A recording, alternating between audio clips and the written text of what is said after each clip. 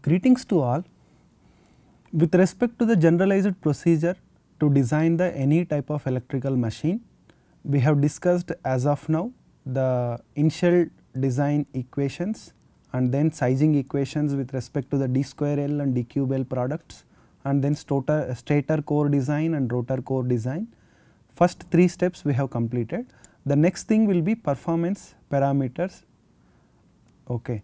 So, how to analyze the performance parameters to see the mission behavior with respect to the magnetizing currents? We can see here the magnetizing currents and no load currents and full load currents how to calculate it and MMFs, fluxes and B, uh, B values flux densities and flux intensity values at different parts of irons okay, and different inductance values and torque components what is the starting torque, peak torque and rated torque and etc.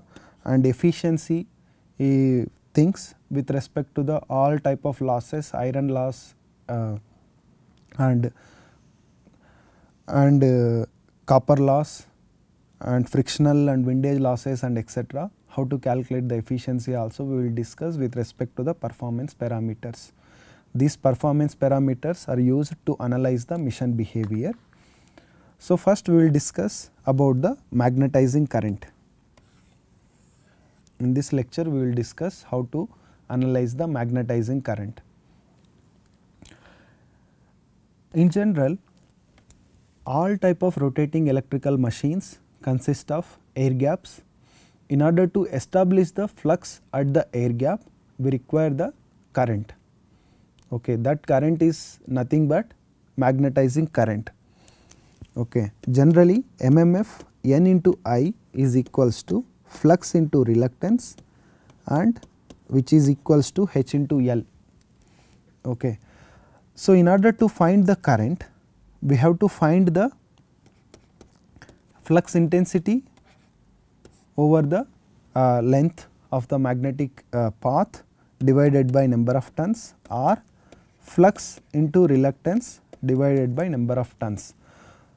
In order to find the magnetizing current, we have to find the H fields over the different parts of iron and fluxes or reluctance with respect to the different parts of iron we have to analyze. If we will excite the stator winding, let us consider this is the 3 phase machine 4 pole and 36 slot uh, stator core I have considered and we are exciting with 3 phase supply and the flux lines will form in this manner. The flux loops we can see observe in this figure. Because of the excitation the flux is flowing through the stator uh, teeth we can see here the stator teeth and air gap, rotor teeth and rotor back iron and again back to the rotor teeth in this portion and air gap, then back to the stator teeth and then stator back iron or stator core. So, the flux is flowing through the following path like two rotor uh, rotor teeth and two stator teeth and two air gaps one stator core back iron and one portion of rotor core back iron. We can see here red color uh, line. So, it is flowing through one portion of stator core and one portion of stator uh, teeth and then air gap, rotor teeth and rotor back iron and like that. So, like this flux is flowing through the different parts of iron. There is a MMF drops also. We have to find all these MMF drops and with respect to that particular MMF and number of turns with respect to the stator winding then we can find the magnetizing current. Okay. So, the first step we have to analyze the fluxes and reluctances as well as MMFs in different parts of iron. Once we have calculated all these things then we can find the magnetizing current. So, first I will start with flux, how to uh, visualize the flux in the different parts. The flux lines as well as B fields in different parts of iron depends upon what area of that particular part as well as reluctance. Okay. The flux lines as well as B fields depends upon the area as well as reluctance of that particular uh, part. For example,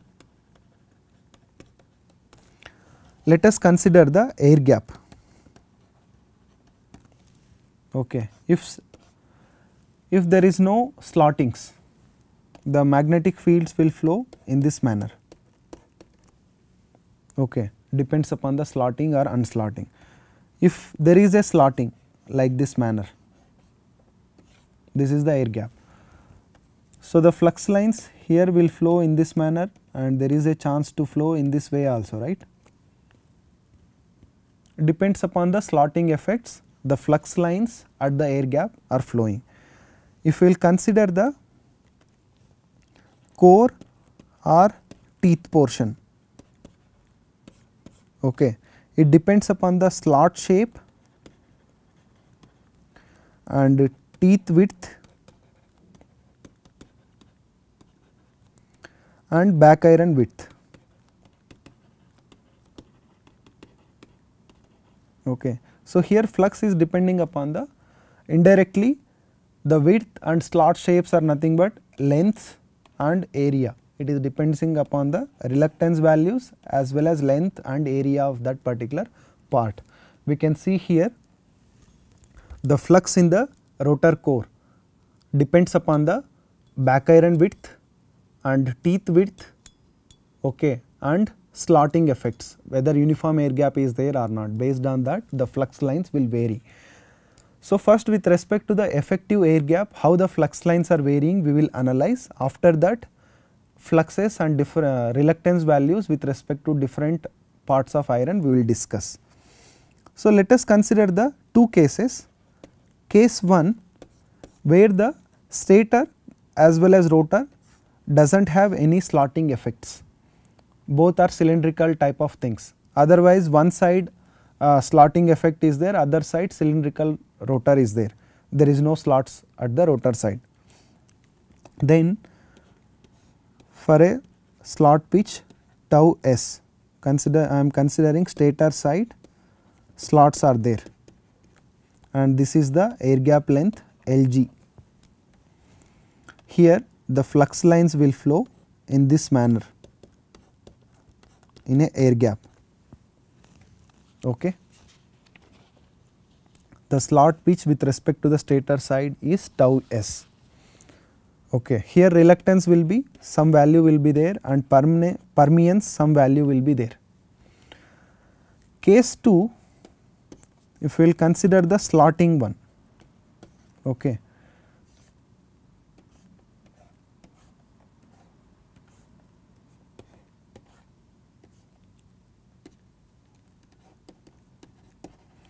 So, let us consider either stator side or rotor side we have the slots. Okay. Now, we will see the slotting effect.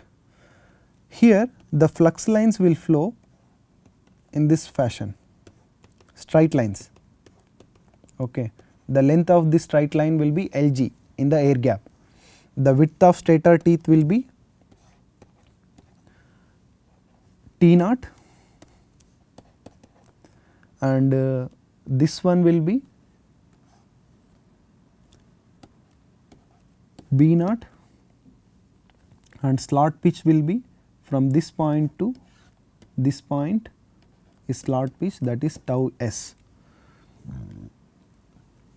If we will see the flux lines in this region where at the side portion of the slot or teeth here the flux lines will flow in this fashion. Okay. Other side of the slot will be in this manner. So, half of the portion will diverge or with the flux lines will flow towards the stator teeth like bulging effects of the flux lines or uh, in the magnetic circuits we have discussed the fringing type of flux right. Same fashion here instead of flowing the flux lines from this portion it will flow through the sides of the stator teeth or rotor teeth. Here the length will be Lg plus some radius portion. This is the radius r. Okay the length of the flux lines now is equals to Lg plus pi into r divided by 2 how this uh, how this pi r by 2 is arrived means the total perimeter will be 2 pi r and quarter portion only we are seeing right that is by 4 so we can get the effective length of the flux lines with respect to the sides of the stator teeth in this portion is Lg plus pi r by 2. Now we will see the reluctance with respect to these two cases. Definitely the reluctance with respect to the case 1 and reluctance with respect to case 2 will be different and permeance which is inversely proportional to the reluctance permeance also will change right. So we will do the analysis with respect to the permeances. Let us consider the case 1. For case 1 the permeance is equals to that is unslotted portion permeance is equals to 1 by reluctance that is mu A by L. Here L is nothing but effective length of the air gap that is LGE without any slotting where the flux lines are flowing in a straight line manner that is LGE and slot pitch will be tau s Okay. So, the cross sectional area we will calculate by considering the slot pitch tau s in mm into length of the core will be Le. Okay. This is the permeance with respect to the unslotted core. Okay. This is equation number 1. Now slotted core with respect to the case 2 whatever we have discussed here with respect to this one we will discuss. Here the permeance is a combination of two terms. The permeance with respect to slotted portion is equals to permeance with respect to the uh, teeth portion that is P1 plus permeance with respect to the uh, dip portion where the uh, slot depth is there depth of the slot where we are placing the conductors that is uh, flux lines are entering through the side walls of the stator teeth. Okay, two portions are there because of two I am considering here. I will redraw that thing here.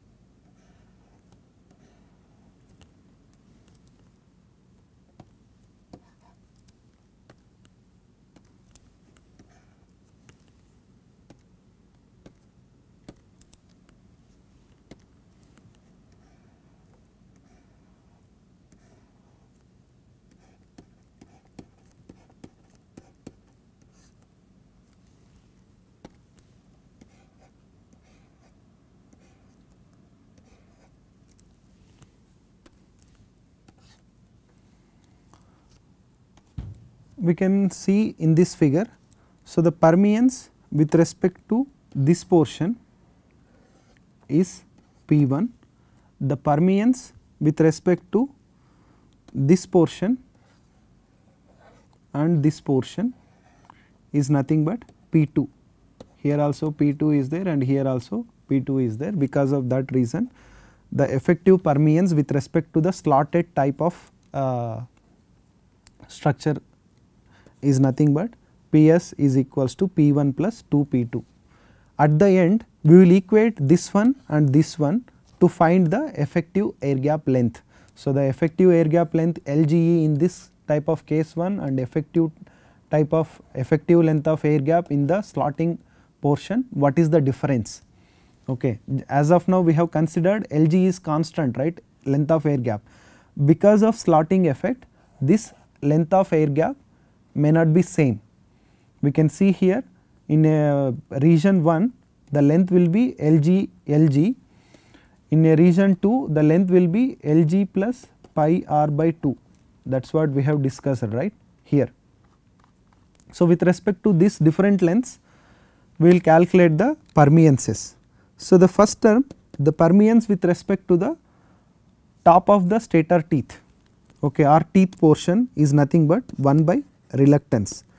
That is is equals to mu a by L. So, here mu is nothing but mu naught. Here also it is mu naught because it is a uh, air gap right? Mu naught into slot uh, pitch is tau s minus b naught. Okay because we have to calculate this length right? This length I am calculating that is tau s minus b naught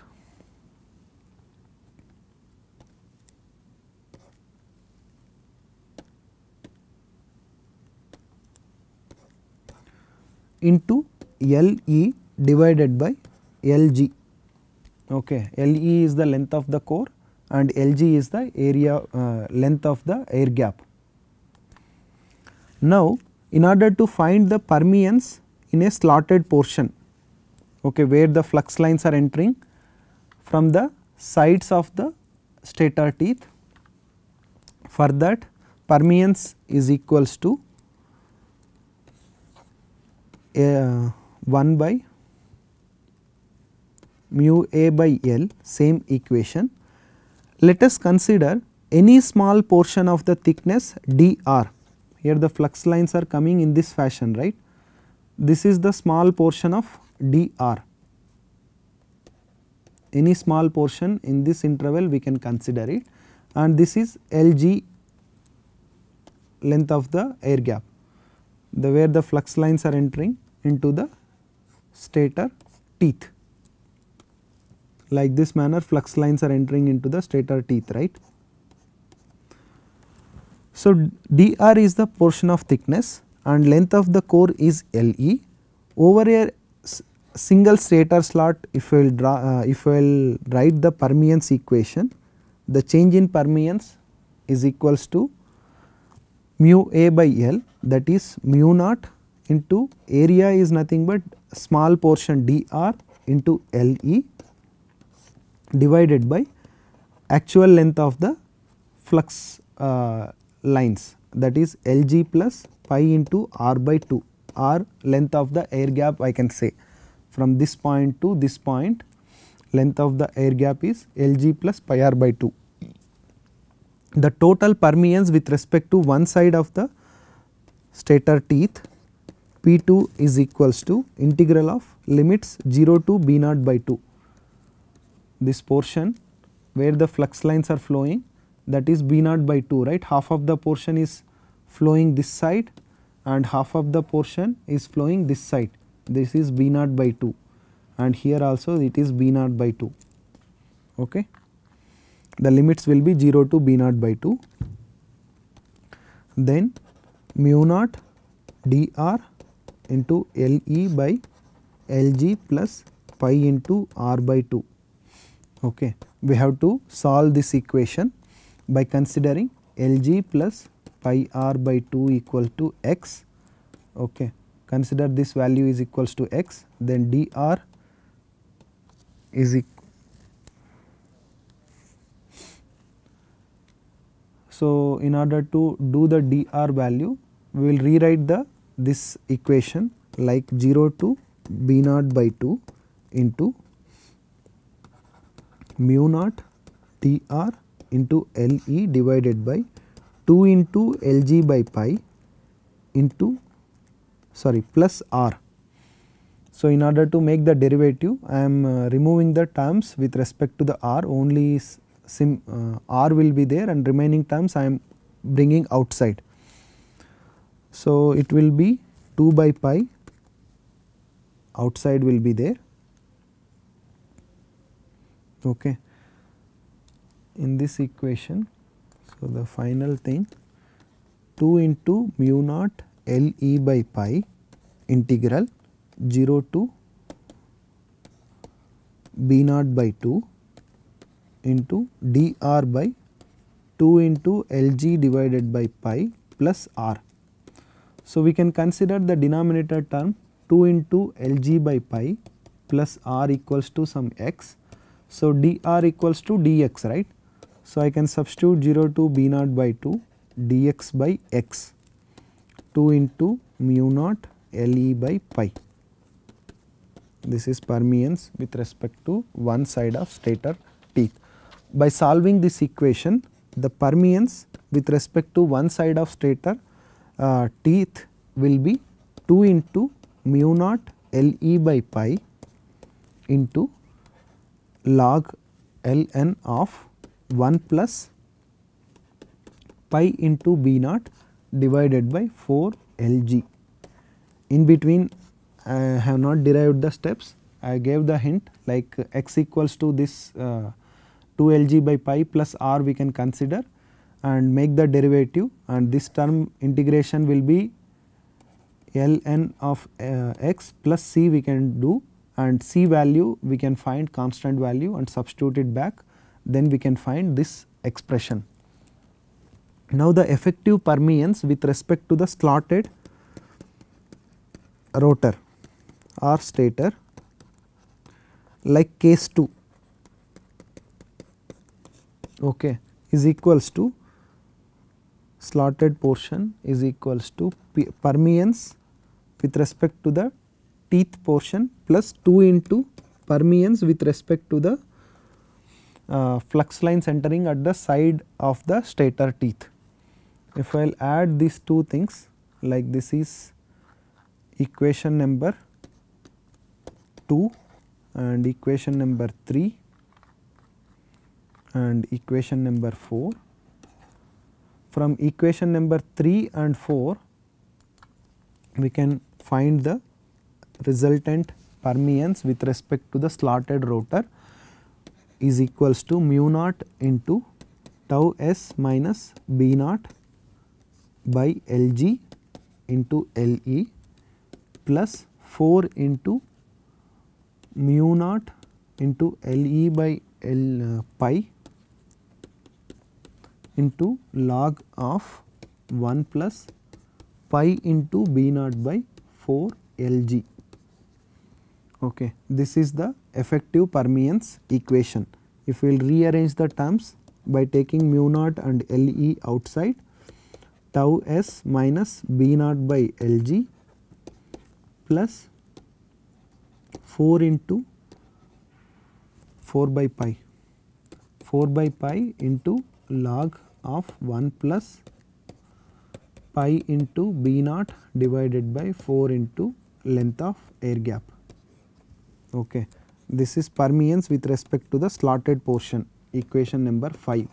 From case 1 we have derived the permeance with respect to the unslotted uh, one and from case 2 permeance with respect to the slotted portion we have derived. In an ideal condition we are considering the length of air gap will be Lg only. But in order to find the actual MMFs and actual fluxes with respect to the uh, different air gaps in a different slot shapes. We have to equate these two things. Then we will see mu naught into L e into slot pitch divided by effective length of air gap is equals to this term. This term completely I will copy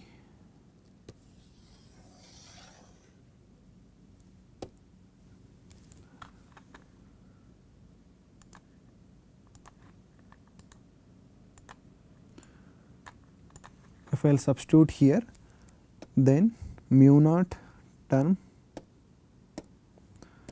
mu naught LE term will be cancelled each other.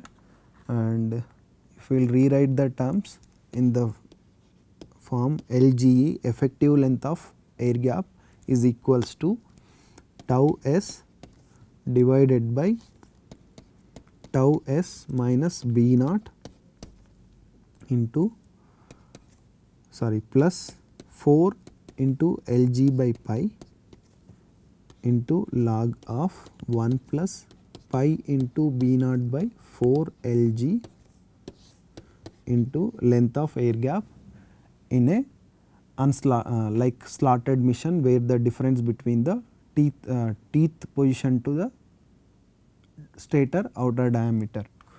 We can see that one here in this image. This length will be from actual air gap length will be Lg and effective length with respect to the unslotted position unslotted uh, type of machine will be LGE. So, we are comparing these two types and we are calculating the effective uh, length of air gap.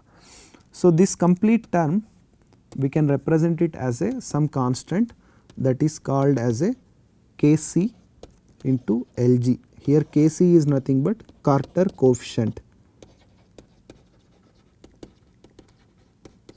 It is used to find the actual air gap length of a machine. Any type of machine we can utilize the same equation. This is equation number 6 final equation for the Carter coefficient where Kc is equals to tau s slot pitch divided by slot pitch minus B naught. Here B naught is nothing but uh, slot width into 4 into Lg divided by pi into Ln of 1 plus pi into B naught divided by 4 into Lg. Do not confuse this B, uh, B naught and slot opening B naught. This B naught will be with reference to this slot portion only. Here B naught will be the slot width I can say. Okay. So, this is the Carter coefficient. If the double slotted mission we can see here the stator lamination as well as rotor lamination. Okay. This is the stator lamination and this is the stator lamination I am showing here. If the bo uh, both sides we have slotting then it is double slotted mission.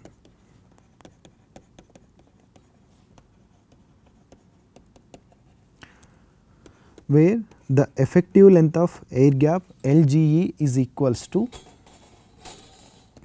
Kc S that is Carter coefficient for stator, Carter coefficient for rotor into Lg where KCS is equals to tau s divided by tau s minus B naught same equation only we have to replace with slot pitch with respect to the stator, slot pitch with respect to the rotor. 4 into Lg by pi Ln 1 plus pi into B naught by 4 into Lg. Okay. Similarly, KCR also just replace tau r and tau r plus the remaining term we can substitute it here. Okay. So, these are the Carter coefficients for stator and Carter coefficients for rotor okay in the bracket same 4 into Lg divided by pi Ln of log of 1 plus pi into B naught by 4 Lg. So, with this we can calculate the effective length of air gap. Once we know the effective length of air gap, we can calculate the magnetic fields at the air gap and area of the air gap and MMFs also okay, and flux. All those things we will discuss in the coming lectures. Here we can see the Carter coefficient and some empirical formula. This is with respect to the derivation by considering the conventional reluctance and permeances we have derived the Carter coefficient will be this equation. Some empirical formula to find the Carter coefficient is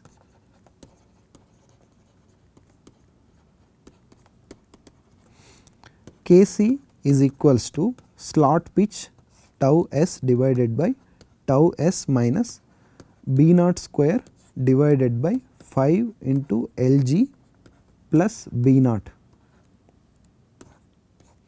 Okay, this is the approximate and empirical formula to find the Carter coefficient. For stator it will be tau s, for rotor in terms of tau r we can represent. Okay, we can utilize either this equation or this equation. This is equation number 7 and this is equation number 8. We can consider equation number 7 or equation number 8 to find the Carter coefficient. In general, for open type of slots,